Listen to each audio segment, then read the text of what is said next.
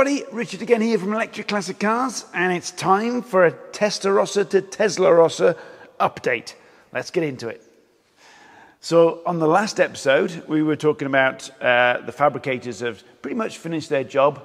I lied because um, if you remember, I kind of changed my mind a little bit. Or not changed my mind, I just come up with an idea, which was uh, to complicate things because we had the main battery box in the rear and we had the front battery box in the front. But when I looked at it, it was a little bit too high. It was about that high, and it took up a little bit too much um, boot space or front space or front boot space, whatever you want to call it.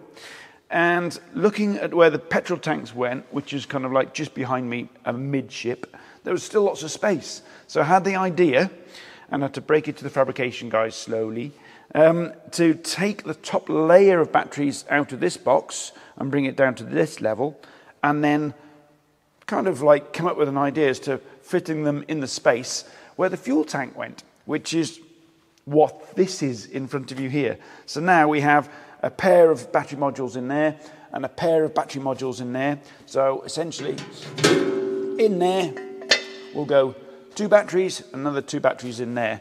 And what I'd like to do now is show you where this goes.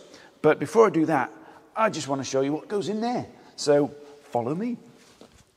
Right, batteries. So we've got the big battery pack over to my right hand side there, and the guys are, are busy doing the BMS looms and stuff over there. But I wanted to show you what we've done with the front battery pack. So uh, in total, there's 24 of these CALB modules, and that's 61 kilowatt hours. Uh, so a 61 kilowatt hour battery pack, but the front battery pack, it was all going to be so easy. We're just going to have one big battery pack in the rear, one in the front. And then I came along and ruined it because I just felt that this was too high and we lost too much luggage space. So what we've done is we've taken off this top layer of four modules and we've kind of split them out to two pairs and then the front battery packs battery pack is a lot shallower then. So I'm going to bring in my glamorous assistant, help me rearrange these, and you can see what we've actually done now. So now you can see what we've done. So we've taken that top layer off, split it into two pairs, and one pair will go in this box, and there's another one very similar to this, which the other pair will go into, and the remaining four will go in the front box.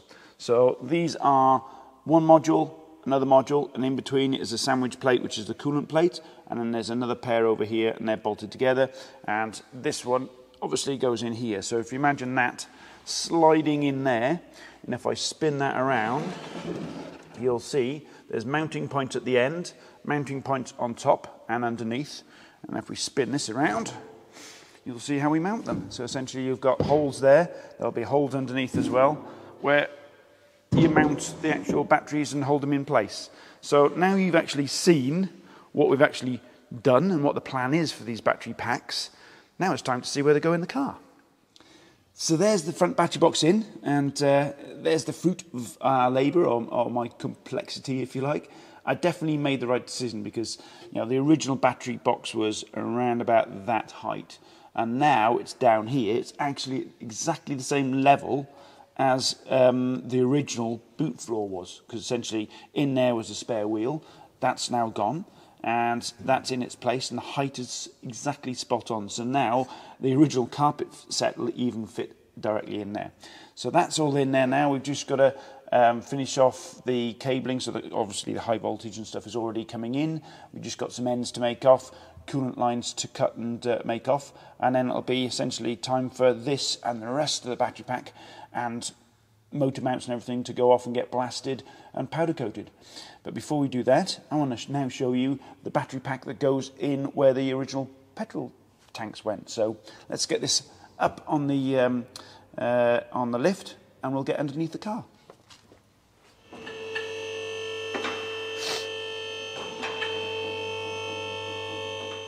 So this is the void I was talking about where the old petrol tanks used to go and the electrical guys have already been busy starting to do the high voltage routing. So most of the uh, high voltage cables are already routed throughout the car. And you know where you've got things like that hanging down, if I grab these out of my pocket, this is where uh, we're going to then join uh, the high voltage system into the battery boxes that I'm going to offer up. So essentially, if you imagine that cut to length, and then you'll have like a plug on there, and then there'll be a socket similar to this then on the battery pack, so that when it's lifted in, all the guys need to do is kind of like plug that on and job done. So, on that note, glamorous assistant time. We're going to lift um, this battery box into place and then you can see it in situ. So uh, let's do that.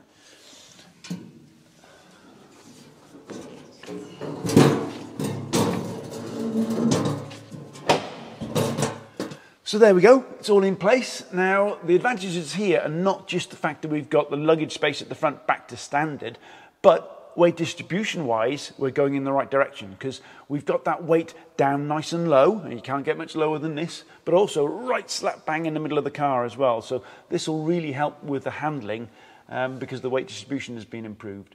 And, you know, as with all of our builds, we've had to, you know, install this around the infrastructure of the car. So the mounting points here and here are exactly where the fuel tank mounting points were and pretty much the same weight as well. In fact, I think these are lighter than two, uh, two full fuel tanks because obviously there's two fuel tanks, not just one up there.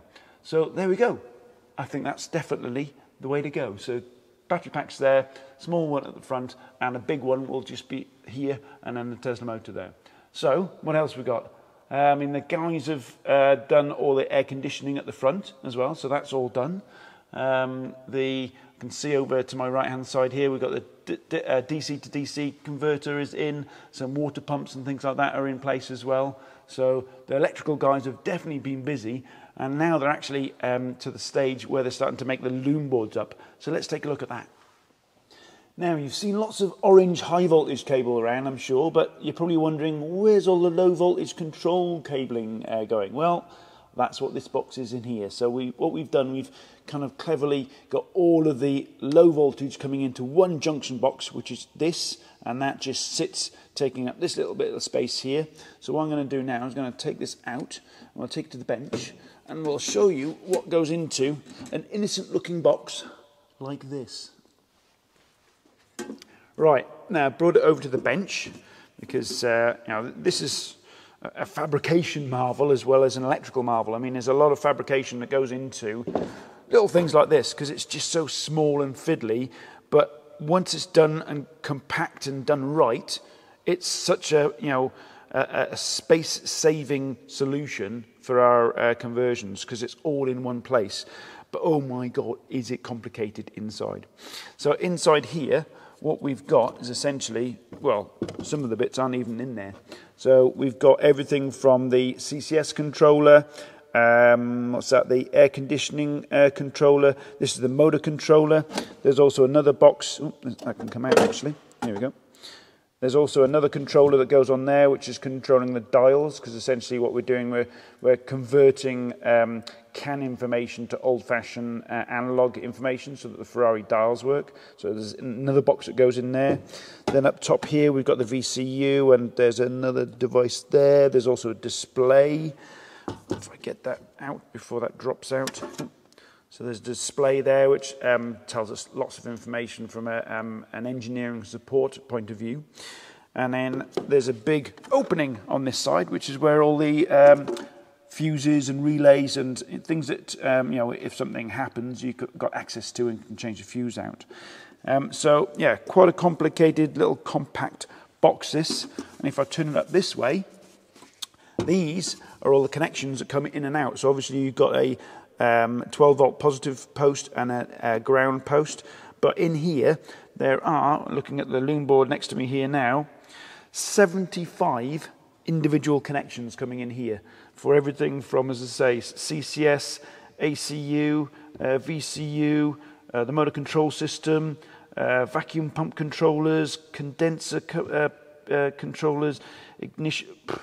The list goes on. 75 connections in there.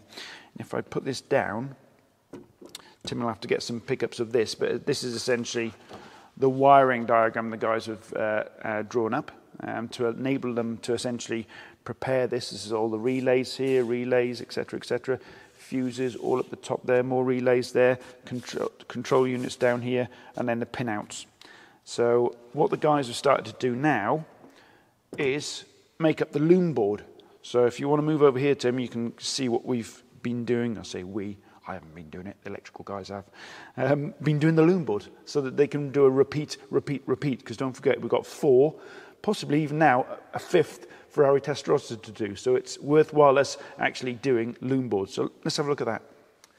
So this window, if you like, here is the only bit that will be accessible once it's all in place. And that is essentially what this is here. So you've got all your fuses down there.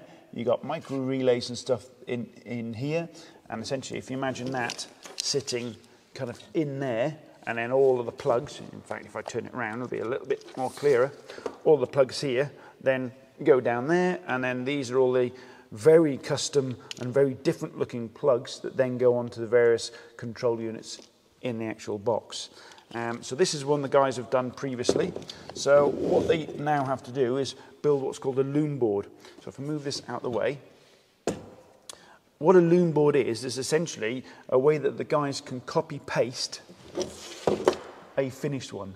So they'll get this on a board, which is in front of me here now, and then they'll kind of bolt it all in place, and then they'll um, put various different pins, if you like, around the board to essentially replicate where these cables are supposed to go.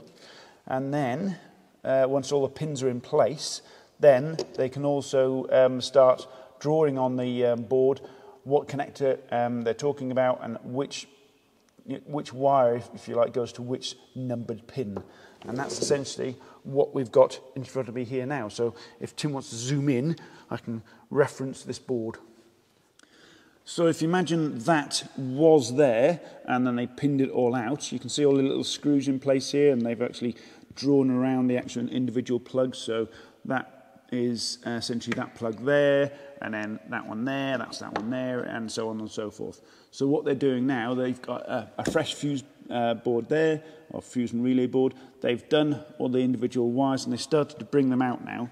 So essentially, what's this is going down to the CAN module down there. So that would go down there. Oh, get in there. There we go. So that would go there. Uh, and there's a load of different little holes, say little, they're quite big actually, that have got the uh, um, main big um, plugs going into them there. So essentially, that's what the guys are doing now. They're essentially replicating that over here. And if I grab another little, there we go. This kind of gives you an idea of how complicated it is. So essentially that is one of the main plugs. And they've labelled it all up. And what they do is they put that in the hole there, and then they'd get the length right, and then they'd get that in there, and then start putting it into the various different pinholes in the actual uh, relay and fuse box. So quite complicated, as I say, there's at least 75 pinouts, and they've got them all listed out here, and all down there as well. So uh, yeah, complicated, takes a bit of time up front to do it, but then in the long run, to do repeatabilities, like we've got the Porsche 911 kit, the Mini kit, the Land Rover kit, etc., etc., all those kits um, are on loom boards so that then we can essentially build up with all the plugs in place, the right um, length of cable, a loom, low voltage and high voltage, without needing the car here. So that that's why and how we can ship out kits around the world. So there you go. A lot of work just in a small box like that, and we've got the rest of the car to do. So it's you know definitely stepping in the right direction, but I can still see there's a marathon ahead of us. So hopefully, in the next episode, we're going to have that in there and these full of batteries, and hopefully all of this in this. So, on that note, I hope you enjoyed this episode, and we'll see you on the next one.